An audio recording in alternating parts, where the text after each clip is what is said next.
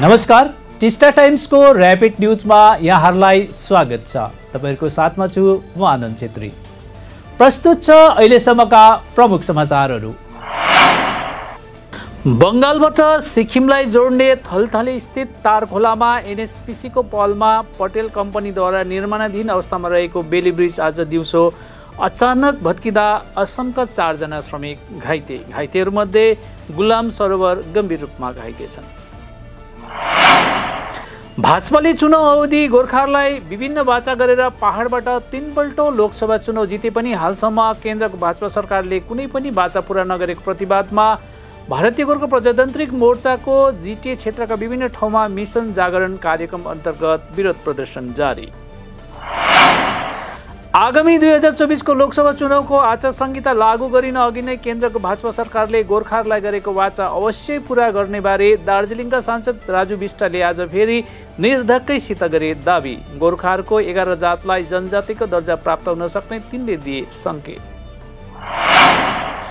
राज्यमा कानुन व्यवस्था हाल निकै खराब भइसकेकोले लोकतन्त्रमा मानिसहरूको भरोसा पुनः बहाल गर्नका लागि राज्य सरकारले विशेष ध्यान दिनुपर्ने आज पश्चिम बङ्गालका राज्यपाल सिबी आनन्द बोसले चोपडाबाट फर्किआएपछि सिलगढीमा उक्त मन्तव्य पोखेका हुन्।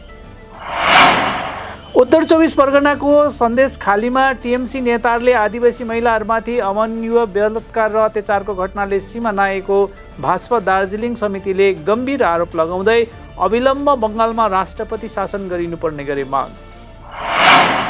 अर्कोतिर सिक्किम मन्त्री परिषदको बैठकमा आज विभिन्न विभागमा अस्थायी रूपमा कार्यरत व्यक्तिहरूको रोजगार नियमित गर्ने उद्देश्यले बाइस हजार सात सय छ्यालिस पदहरू सृजना गरेको मुख्यमन्त्री पिएस गोलेले सार्वजनिक रूपमा गरे घोषणा।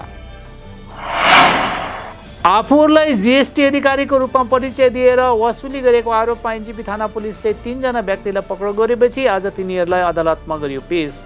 पक्रा पर्नेहरूमा पार्थ घोष रूपेश तिर्की र शुभजित घोष सामेल। तिनीहरू सबै बागडुग्रा निवासी बताइएको छ।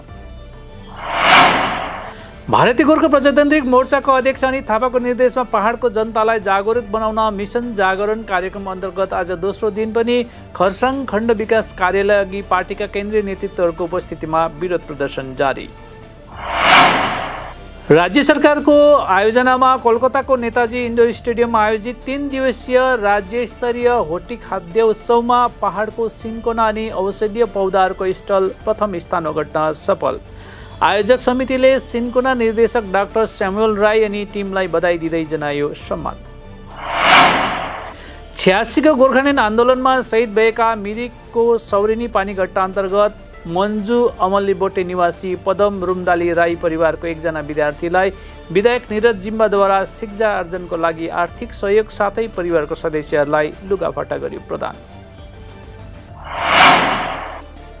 सिलगढीको प्रधाननगर थाना पुलिसले चम्पासरी अञ्चल इलाकाबाट गत राति पिस्तोल अनि जिउँदो कारतुससहित एमडी जब्दुल हुसेन उर्फ राहुललाई पक्राउ गरेपछि आज तिनलाई सिलगढी अदालतमा गरियो पेश। तिनी जयगाउँ निवासी भए तापनि हाल मतिगडामा बस्दै आइरहेका थिए।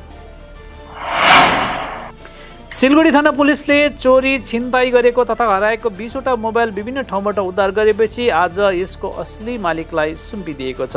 अर्कोतिर मोबाइल फिर्ता पाएपछि तिनीहरूले खुसी हुँदै पुलिसलाई दिए धन्यवाद। हवस् त दर्शकबिन अहिलेलाई भने यति नै। हेर्दै गर्नुहोस् टिस्टा टाइम्स।